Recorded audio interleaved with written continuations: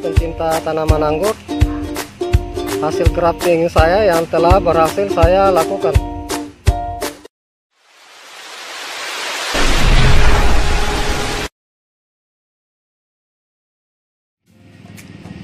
Jumpa lagi di channel youtube kami.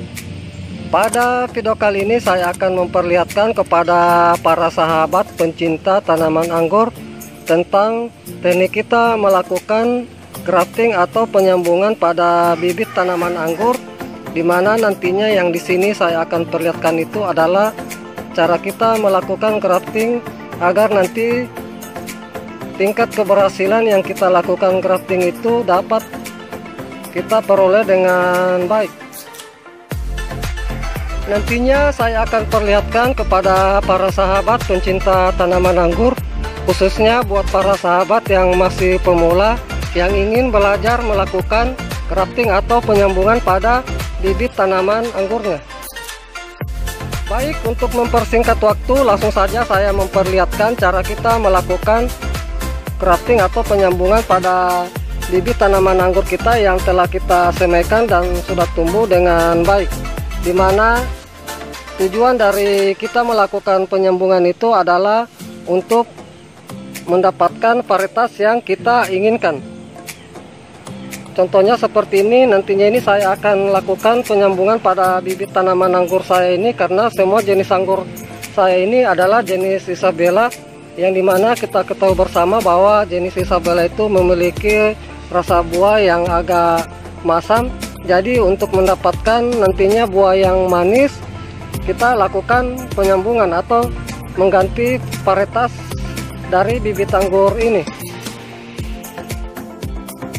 sebelum saya memperlihatkan cara kita melakukan grafting atau penyambungan pada bibit tanaman anggur kita nantinya terlebih dahulu di sini saya akan perlihatkan alat dan bahan yang akan kita siapkan yang pertama itu kita siapkan alat. Di sini saya nantinya itu menggunakan silet. Usahakan di sini untuk alat yang kita gunakan itu harus benar-benar bersih dan tajam agar nanti dalam proses penyambungan atau pengirisan entris mudah kita lakukan. Kemudian di sini kita siapkan pengikat di mana pengikat di sini kebetulan yang saya gunakan itu adalah plastik es lilin. Intinya di sini untuk pengikat itu sahabat bebas gunakan jenis pengikat apa pun. Yang penting nantinya di dalam proses pengikatan itu mudah kita lakukan. Misalnya seperti ini plastik es lilin ini dia elastis jadi ini mudah kita menarik memanjang seperti ini. Dan di sini saya siapkan juga para film di mana para film ini saya nanti gunakan sebagai sungkupan entris. Ini para film lalu di sini saya siapkan entries ini ini yang utama dalam keberhasilan kita melakukan penyambungan itu adalah entries yang akan kita gunakan. Adapun entries yang baik untuk kita gunakan dalam proses penyambungan atau grafting pada bibit tanaman anggur kita adalah carilah entries yang tidak terlalu tua dan tidak terlalu muda dan sudah memiliki mata tunas atau mata but seperti ini yang sudah bulat seperti ini. Agar nanti untuk proses penyambungan itu dari mata tunas ini akan cepat tumbuh. Ini. Kita cari mata tunas yang seperti ini dan interestnya itu jangan terlalu mudah. Karena apabila terlalu mudah nantinya itu mudah terjadi pembusukan. Jadi kita cari inter situ yang tidak terlalu tua dan tidak terlalu mudah seperti saya perlihatkan ini kemudian di sini saya siapkan gunting di mana? Gunting di sini saya siapkan itu untuk nanti memotong para film ini beberapa bagian. Dan yang terakhir itu kita siapkan spidol di mana spidol ini nanti saya gunakan untuk menulis nama varietas yang akan kita sambung agar nanti varietas yang telah kita sambung itu tidak kita lupa atau nantinya tidak hilang jejak dari jenis varietas yang kita lakukan penyambungan baik langsung saja saya perlihatkan cara kita melakukan penyambungan dari bibit tanaman anggur kita. Ini saya akan lakukan penyambungan. Adapun untuk bibit yang baik untuk kita lakukan penyambungan itu kira-kira berusia kurang lebih berumur dua bulan dan memiliki batang atau tunas yang batang tunas seperti ini yang sudah agak keras. Ini ini sudah agak keras. Jadi usahakan dalam kita melakukan proses penyambungan juga jangan kita sambung pada bibit yang masih tunas muda yang ber, muda seperti ini. Karena ini masih banyak kandungan air karena nantinya apabila tunas yang memiliki batang muda seperti ini nantinya itu mudah terjadi pembusukan. Jadi kita lakukan penyambungan itu yang sudah agak keras seperti ini. Ini Baik, langkah pertama yang perlu kita lakukan sebelum kita melakukan penyambungan adalah kita ambil entris ini.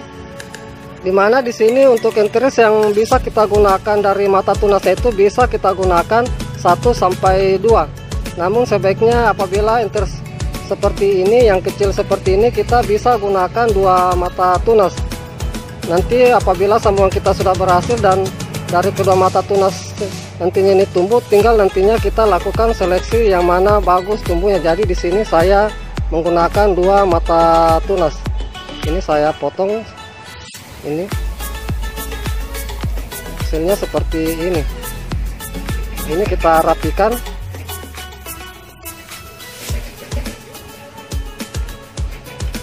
Sebelum nantinya ini saya akan lakukan pembungkusan dengan parafilm atau sungkup dengan parafilm kita rapikan dulu dari enteris ini.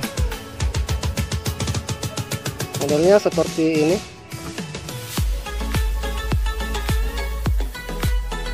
Setelah enteris kita rapikan kemudian langkah berikutnya adalah kita ambil para film ini. Saya ambil para film untuk melakukan penyungkupan pada enteris yang sudah saya siapkan lalu kita lakukan penyungkupan.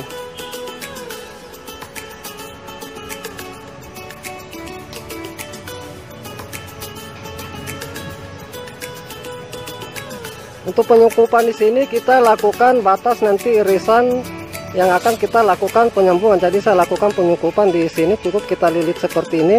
Jangan sampai ada celah. Di sini kita gunakan para film seperti ini tanpa nanti kita melepas dari sungkupan ini nantinya mata tunas itu akan menembus dari para film ini yang kita lakukan penyungkupan pada interis ini. Ini modelnya seperti ini. Setelah kita lakukan penyungkupan interis kemudian langkah berikutnya adalah kita lakukan pemotongan bibit yang akan kita lakukan penyambungan. Di sini untuk yang akan saya lakukan penyambungan itu kira-kira saya gunakan dua ruas dari tunas ini jadi saya akan lakukan penyambungan nantinya itu di atas sini ini. Jadi saya akan lakukan pemotongan di sini. Di sini saya tidak melakukan terlalu dekat apabila nanti para sahabat menyambung dan terjadi kegagalan nantinya bisa kita lakukan lagi penyambungan di sini. Jadi di sini saya lakukan penyambungan itu kira-kira nanti sekitaran sini agar nanti apabila terjadi kegagalan masih bisa lagi kita sambung dari bibit anggur kita ini. Setelah kita melakukan pemotongan seperti ini kemudian ini kita belah. Kita buang daunnya ini yang bagian atas ini. Untuk pembelahan di sini kita lakukan di tengah kira-kira pembelahan yang kita lakukan itu sepanjang kurang lebih 2 cm atau sekitar 2 mata silet seperti ini. Ini kira-kira seperti ini 2 mata silet. Lalu kita lakukan pengirisan pada entris untuk pengirisan entris di sini kita lakukan itu sesuai dengan panjang belahan batang bibit yang akan kita lakukan penyambungan. Jadi saya akan lakukan pengirisan sepanjang 2 cm ini saya perlihatkan cara pengirisannya usahakan pengirisan di sini harus benar-benar rapi dan rata jangan sampai terlalu kasar.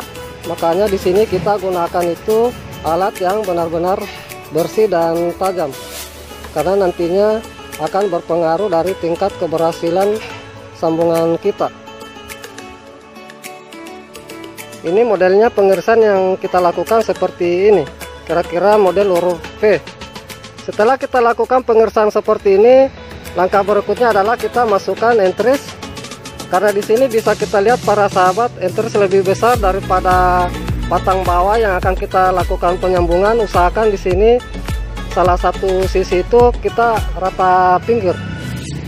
Di sinilah kita perlu ketahui dalam proses penyambungan itu apabila ukuran entris dan batang bawah tidak sama besar usahakan salah satunya rata pinggir. Ini bisa kita lihat para sahabat saya akan perlihatkan lebih jelas karena di sini entris yang saya gunakan itu lebih besar jadi saya lakukan masukkan enters itu pada batang bawah seperti ini. Ini. Setelah enters kita masukkan pada batang bawah yang akan kita lakukan penyambungan itu.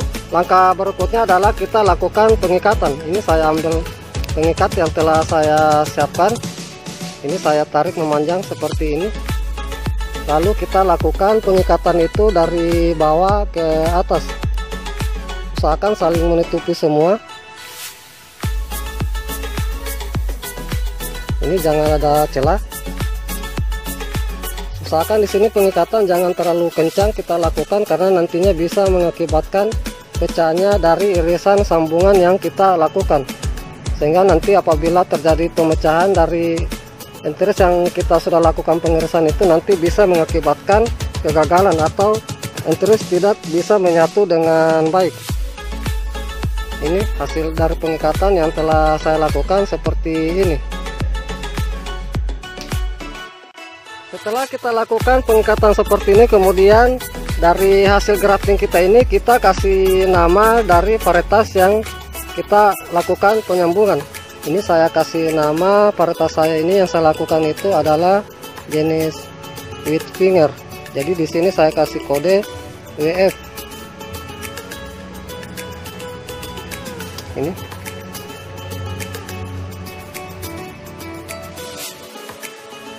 inilah hasil sambungan yang telah saya perlihatkan kepada para sahabat pencinta tanaman anggur. Dan setelah kita lakukan penyambungan seperti ini usahakan dari hasil sambungan yang baru kita lakukan ini kita simpan dulu di tempat yang teduh. Jangan dulu sampai kena sinar matahari langsung. Jadi nantinya ini saya akan simpan dulu di tempat yang teduh dan ini saya akan perlihatkan contoh yang telah berhasil saya lakukan penyambungan. Ini bisa kita lihat para sahabat pencinta tanaman anggur. Hasil crafting saya yang telah berhasil saya lakukan. Ini.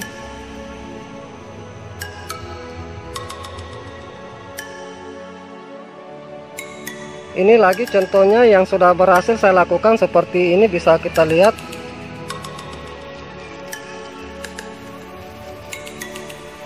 ini kebetulan yang saya lakukan penyambungan itu langsung dari ukuran media seperti ini yang besar langsung ke planter bag yang saya semaikan langsung di planter bag ini kemudian tumbuh dari bibit anggur saya ini langsung saya lakukan penyambungan atau grafting dan hasilnya seperti ini.